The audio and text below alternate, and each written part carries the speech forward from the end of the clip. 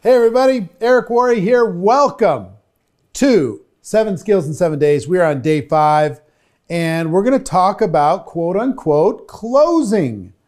Now, I know it's some people don't like that word. Some people would prefer that we talk about opening relationships and helping a person get started and helping a person make a decision. Yes, I get all that. But sometimes you just need to be an expert in helping a person make a decision. How many of you have people who are thinking about it forever? I'm thinking about it. Let me get back to you. I'm thinking about it. I'm thinking about it. A lot of them are actually ready to make a decision, but you're not skillful enough in order to be able to help them make the decision. So, I've went through a million different versions of how to be able to do this and finally came up on one that works around the world, will work for you. Six questions at the end of any exposure, six questions that will show you specifically and guide the person to making a decision that they want to make. Okay? So, six questions. I'm going to show you an excerpt from another training that will guide you through these six questions and will show you exactly how to become a world class closer. Check it out.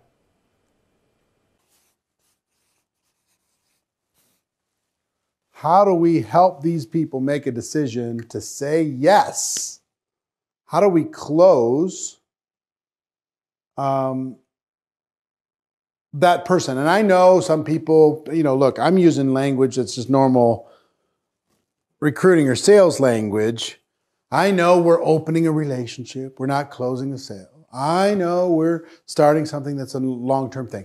But there's still a psychology that we're dealing with after an exposure where we need to be professional and help guide a person through the process in making a decision. Okay? So all closing is is guiding a person. I want you to think of yourself more as consultant versus salesperson. A consultant is going to ask questions. A salesperson is going to be doing the hardcore close. If you're sometimes salespeople, they can bring people into the business, but people quit really, really fast. Consultants guide people into the business, help them come up with a solution for themselves. If you think of yourself as a consultant versus a salesperson, as a farmer versus a hunter, right? We're planting seeds, we're asking questions, we're guiding people through the process to make a decision, one way or the other, to join this business. Now, this is not a big money decision for most of you. To join your company is not very much, not, not much in terms of a financial commitment. But still, a person doesn't want to look foolish. A person wants to, you know, feel like they're smart. A person wants to feel like they have a chance. A person has to, has to imagine success on some level, right? Our job is to ask carefully crafted questions that help a person imagine themselves in this business. That's what we're trying to do. Is we're asking questions that would help a person imagine joining. Because until they can imagine it, they're not joining. Imagine success. Imagine doing this. Imagine uh, uh, this working out. So these questions are, you're going to be asking questions throughout the process. You're going to be asking questions, if I would you, throughout the presentation process. You're going to be asking questions in the follow up process. But there's a specific set of questions that you should uh, implement. These questions work what I'm about to share with you, work around the world in every language, in every culture, with every company. At the end of your presentation, whatever that exposure is, you expose them to the product, ask these questions. You have them watch a Zoom call, ask these questions. They watch a YouTube video, ask these questions. They sit down, they have a three way phone call with you and your sponsor, ask these questions. They come to an event, ask these questions. Whatever it is, at the end of the exposure, You've got to be professional at asking these questions. You've got to start with the right one. Because guess what's the worst question you could ask after an exposure? Let me tell you what I used to do. I used to say, uh, what'd you think? I'd show them the business and I'd say, well, what'd you think? Which invites a person to be a critic, which invites a person to start picking at things. I, and then I um, kind of graduated from that, and one of my mentors taught me to, to say, Did you see an opportunity? When you looked at this, did you see an opportunity? And that worked great, you know, in, in some cases. I mean, but opportunity can be a little bit nebulous. Um, he, he taught me to ask two questions Do you see an opportunity? Or are you prepared to get started? Real assumptive. Now, over the last 33 years, I've come up with a question that's better than any of those. And it's this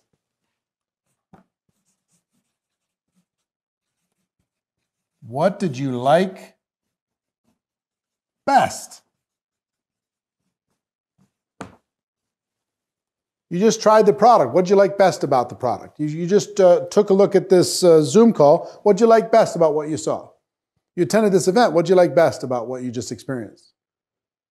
You had this conversation with my upline. What'd you like best about our conversation? What'd you like best? This forces a person to go in their mind and find something good. Then we say, well, you know, I like, uh, I like the product. I like the product. I like the product. Fantastic. What'd you like about it? Get a little bit more clarity. What'd you like? What'd you like best about the product? Oh, I like the fact that it's this and this and it creates this result. All right, fantastic. They say, I like, I like the residual aspect. I like the fact I could be in business for myself. I like the fact that it's flexible. I like the fact that it's not that much money for me to start a business. I like the fact I get tax benefits. I like the fact I like this, I like this, I like this. So sometimes you're going to get people that say, well, I'm not, I'm, I don't know. What, you know what I'd say to that? Well, if you did know, what would you like best? You know, if you did, if you did have an opinion, what would that opinion be? What, what, what's the best thing that you, that you liked about what you just saw? Just for fun. What'd you like best? And 95, 98 times out of 100, they're going to give you something. Okay? Question number two. On a scale of 1 to 10, 10 being you're ready to go right now, 1 being you have no interest, where are you? On a scale of 1 to 10, just based on what you've seen so far, where are you on a scale of 1 to 10? Guess what you're going to get a lot of? Five, sixes. You don't get a lot of eights and nines. You know, the reason why they don't want to seem like they're easy. You know, they don't want to seem like a cheap date. They want to, they uh, or an easy date. They they want to seem like they're, you know, kind of responsible, careful, due diligent uh, type people that are doing their homework. I'm a six. I'm a seven. Mm, I'm a six. If they say seven, they're joining. You can get lots of fives and sixes and sevens, tons of them. If they say eight or nine or 10, they're usually ready to go right then. But let me give you a tip on this. Anything over a one is good. Anything. I can even show you, if a person says I'm a minus 10, I can show you how to sponsor a person that says they're a minus 10. Okay? This is just gives you a clue as to their temperature. What'd you like best? I like this. Scale of 1 to 10, where are you? They give you a number. Now, don't give them the answer to these. Ask the question. Ask the question as a consultant. Have them give you the answer. It's very important that they provide the answer. On a scale of 1 to 10, where are you? Like a 7? You don't, don't do that. Scale of 1 to 10. 10, you're ready to go. 1, you have zero interest. Where are you on, on the business side? Just, and, and one, uh, several words are very helpful here. If you get any resistance, hypothetically, off the record, just between you and me, just for fun, where are you on the scale of 1 to 10? Any of those words or all of them together. Take it off, you know, don't make it so heavy. Like one to 10, where are you? It's not that. It's like, hey, just for fun, hypothetically. Let, us say, what do you like best? The person says, I like the product and I don't like the business. Okay? Pretty good clue. On a scale of 1 to 10 on the business now, just for fun, I know you said you're not interested in the business, but if you were interested in the business and you did want to grow something entrepreneurially from your home, with this opportunity, on a scale of 1 to 10, where, where would you be? See what I mean? Hypothetically, off the record, just between you and me, just for fun, where you at? Okay? Three,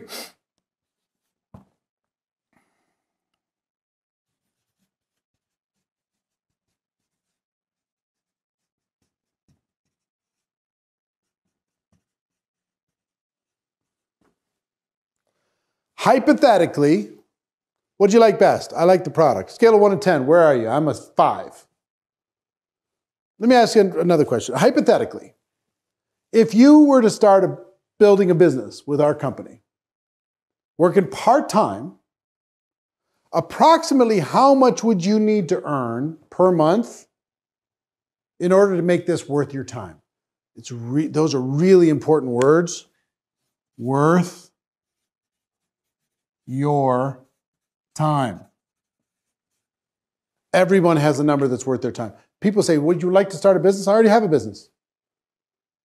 You know, there's a million objections. Would you like to, you know, have, have an income? I already have an income. If you were to start this business monthly, eh, to start this business, how much would you need to earn part time on a monthly basis in order to make this worth your time? Every person you know has a number that would be worth their time. Everyone. What would be worth your time? Uh, and you know what you're going to get a lot of? And if, if you get any resistance, say, this is just for fun. It's just between you and me, just for fun, hypothetically. I know you're, not, you're probably not interested, but if you were, and you're going to do this part time, how much would you need, you need to earn per month in order for this to even be worth your time? You're going to get a lot. You know what you're going to get a lot of? 500 bucks, $700, $300, $1,000. People just want to pay off their credit cards or whatever. They're dealing with their student loans. They, they're going to go inside their brain. They're going to come up with a number that would be worth their time. Okay? Let them answer, let them answer, let them answer. Question number four hours per week. If you decided to do this, how many hours per week, realistically, how many hours a week could you commit? Let's say a person says, I need to earn $1,000 a month. That would be worth my time. Cool. How many hours a week do you think you could realistically commit to developing a $1,000 monthly income? How many hours a week? Part time, your hours, whatever you want to do, they're flexible. You're going to get a lot of 10 hours, 12 hours, 15 hours to earn a thousand bucks, real money. Some people was to give you 20 hours. So, thousand, you know, how many hours a week realistically could you commit? And then question number five, how many months?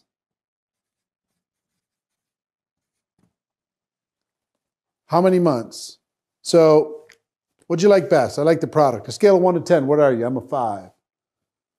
Hypothetically, if you did start building this business part time, how much would you need to earn per month in order to make this worth your time? Thousand bucks. Cool. How many hours a week, realistically, do you think you could commit, you could commit to developing a thousand dollar monthly income? Uh, 12 hours a week. Fantastic. How many months would you be willing to work those 12 hours a week while you are developing a thousand dollar monthly income because it's not going to start there. I mean, you're going to build to it because it's a business. How many months would be willing? You're going to get a lot of three months, six months, nine months, a year. Okay. And then if I would you.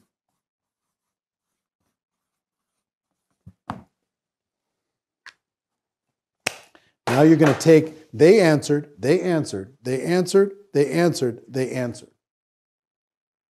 To take their answers and you're going to put it here. Say, if I could show you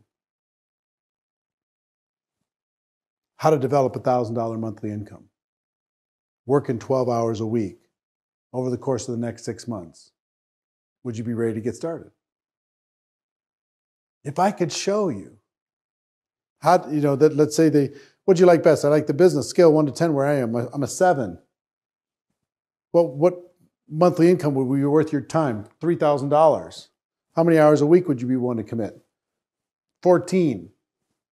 How many months? Five months. Well, let me ask you a question. If I could show you how to develop a $3,000 monthly income working 14 hours a week over the course of the next five months, would you be ready to get going? If I could show you how to do that. And guess what? It's so difficult.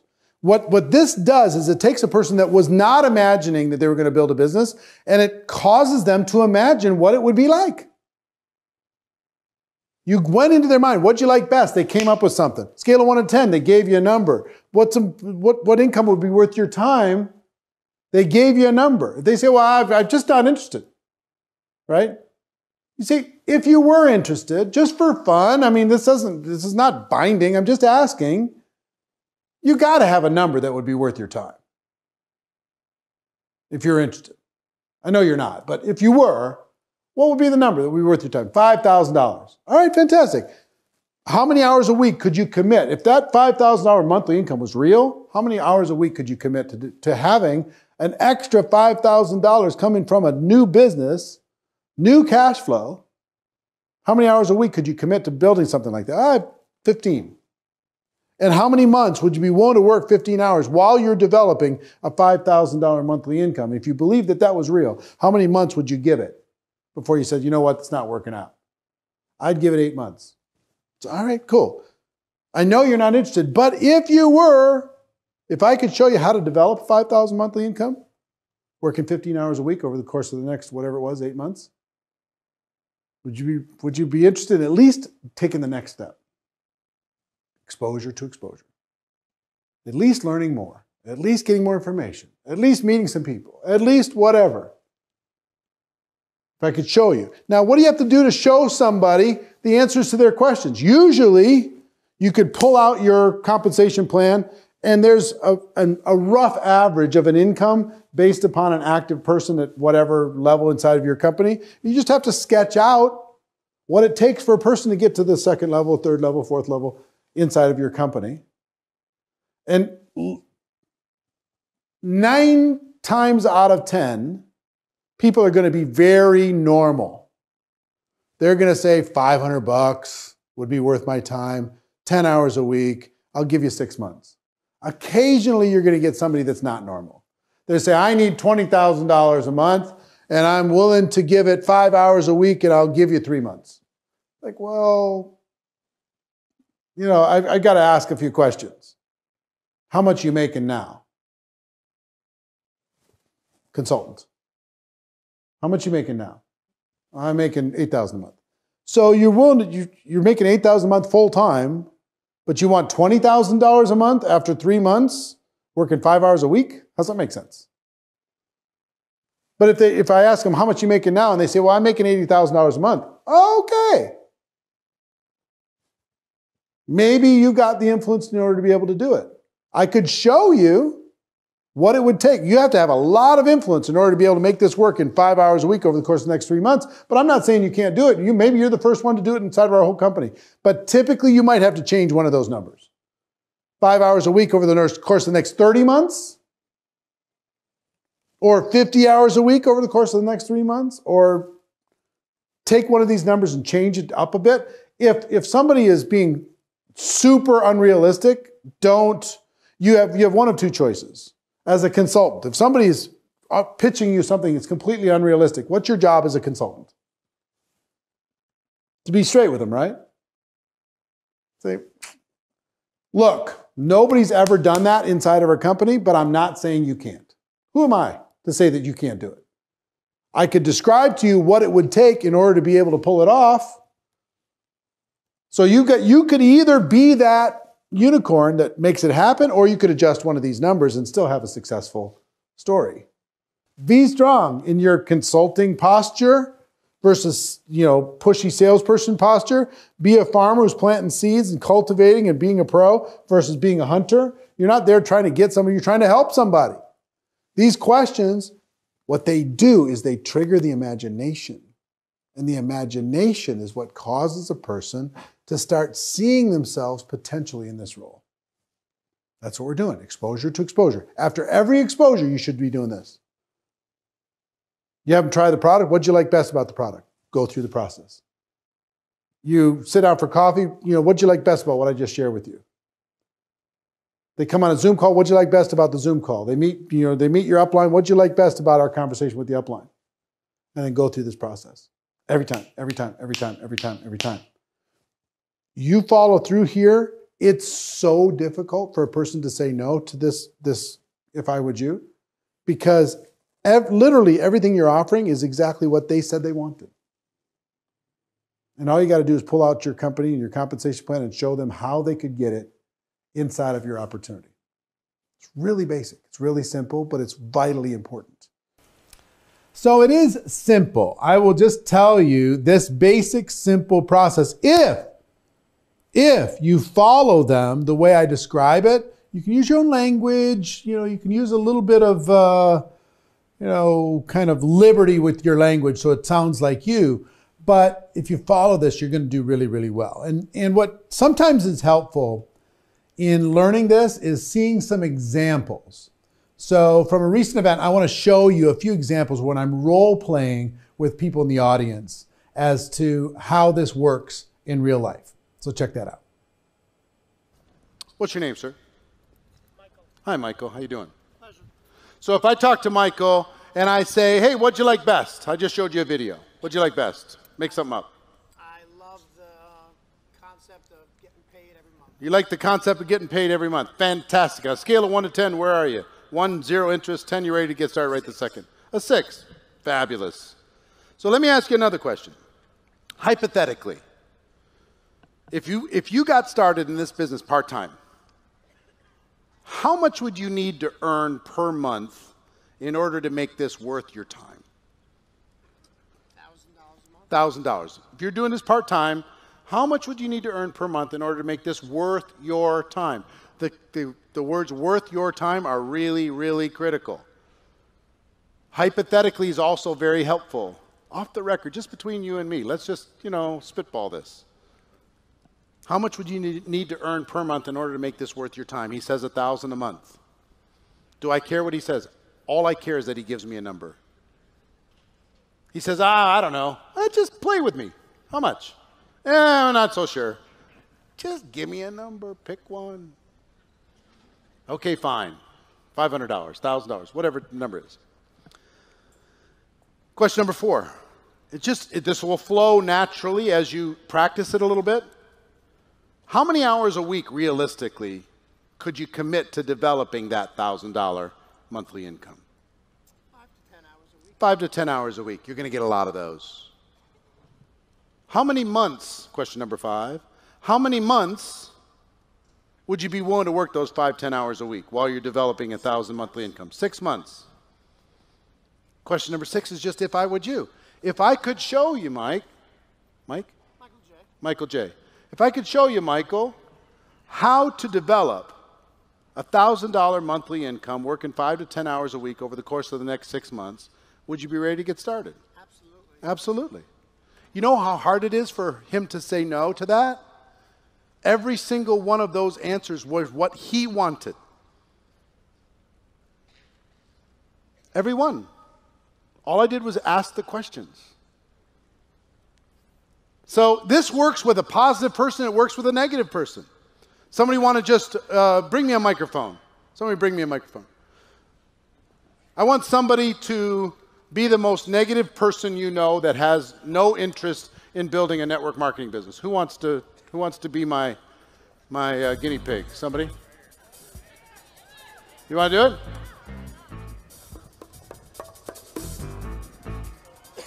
All right, stand up, introduce yourself. Hi, my name's Hillary. Hi, Hillary. Um, All right, Hillary, let's just say I just showed you a video, Okay. and I say, Hillary, based upon what I just showed you, what did you like best? I didn't really like anything. I mean, how do you even do that? All right. No sense to me. You didn't really like anything. Fantastic. So on a, on a scale of one to ten, one being you have zero interest, and ten you're ready to get started right this moment. Where are you? Where would you put yourself?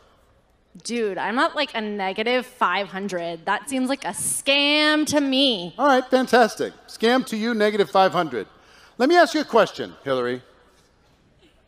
Off the record, just between you and me, and I'm not assuming that you're going to do this, but you, you would, of course, be not looking the other way when we would do this, would you?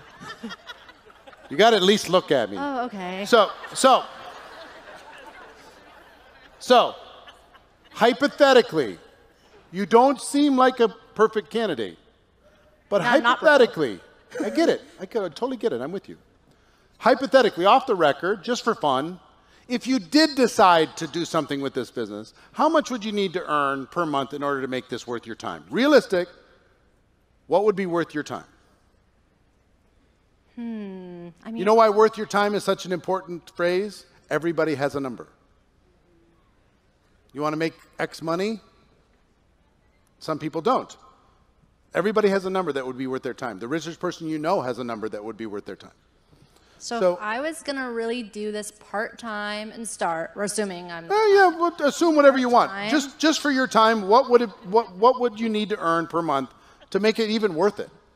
I mean, if I'm gonna leave my amazing job at Jamba Juice, I gotta be making at least like two grand part time. All right, two grand part time. Let me ask you this: How many hours a week do you think you could realistically commit to working something that was actually paying you two thousand dollars a month part time? I mean, in between all the stuff I do and everything, Yeah. I guess five to ten hours.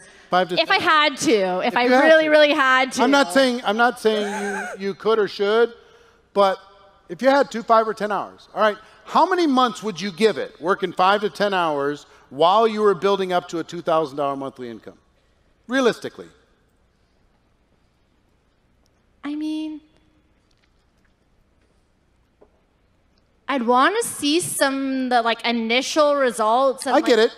And you, like, you want to see some results, but let's just assume that you're going towards that goal in some kind of methodical fashion. okay. If that was the um, case, how many months would you give it? I mean, I feel like half a year seems fair. Half a year seems fair? Yeah. All right, fantastic. So let me ask you this, Hillary. I know you're a minus 500, but if I could show you how to develop a $2,000 monthly income working five to 10 hours a week over the course of the next six months, would you at least be willing to take the next step and learn a little bit more? yeah, I guess I'd be interested. it's so hard. It's so hard. She was a negative 500. How hard is it? I'm not kidding.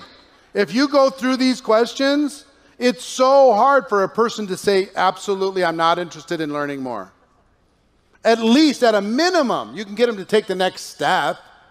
You can I get them to I'm learn a little bit more, get them to find out about the product, get them to meet somebody, get them to come to an event at, at a minimum. And you keep the conversation going. See what I'm saying? Now, if somebody's reasonably positive, you ask these questions, all you're doing is creating a world that they get to live in based upon their wishes and dreams. If I tell her, you want to make $10,000 a month and she's working at Jamba Juice, it's going to be too much. It's going to shut her down. If I tell her you want to make $500 a month and she's already making 4,000, she's going to say that's not worth my time. So I've got to ask the questions, let her fill in the blanks, and then say, if I could show you how to do it, would you be willing to take the next step with me?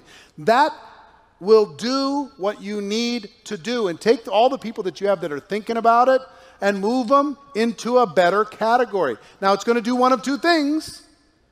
It's either going to say, yes, let's do it, or yes, I'm willing to continue the conversation and learn more. And then you can ask it again later if they're not totally ready to join. Do you understand? Now, are these questions hard to learn? No. So here's what I want you to do I want you to practice. I want you to practice. What did you like best? At the end of any exposure, Zoom call, whatever, what did you like best? Scale of 1 to 10. What kind of income would you want if you're going to do this part time, hypothetically?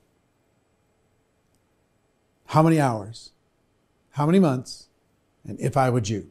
Practice and practice and practice. Once I got this down at the end of every exposure, as soon as I asked, what'd you like best?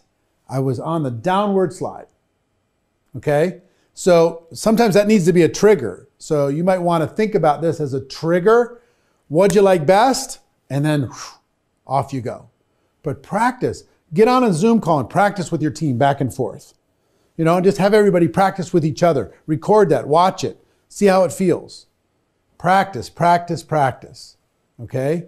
Progress is perfection. Practice is important. Make sure that you practice so you can make progress.